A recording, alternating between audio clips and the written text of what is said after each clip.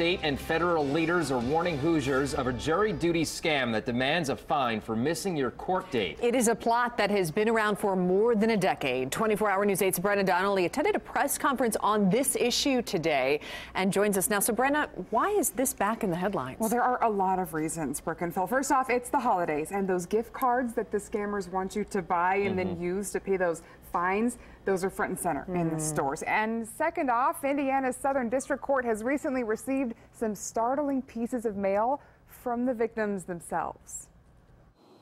A national scam. We are concerned. Making a chunk of change per person in the state of Indiana. Upwards of to 500, 1,000, 2,000.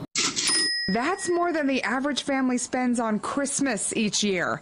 And it's all about jury duty. Particularly involving this court, uh, where I'm the United States Attorney and I'm responsible for enforcing the federal law, it has increased recently, and so it has gotten my attention. So, how are they getting people?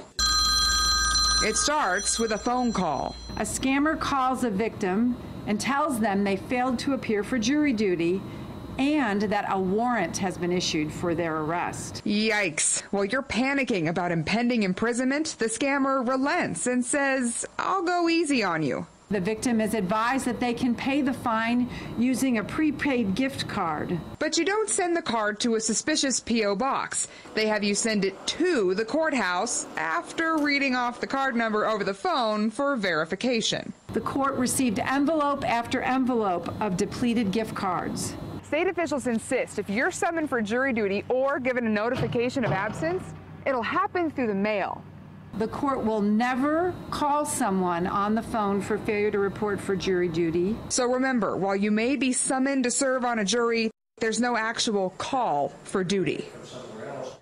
The Chief District Judge also provided some details on how often people really do miss a jury duty notification. She says they're very good at getting in touch with people and they haven't had to hold a hearing in years for someone who failed to appear. Okay, so I'm sure they are uh, working to catch these scammers. Right.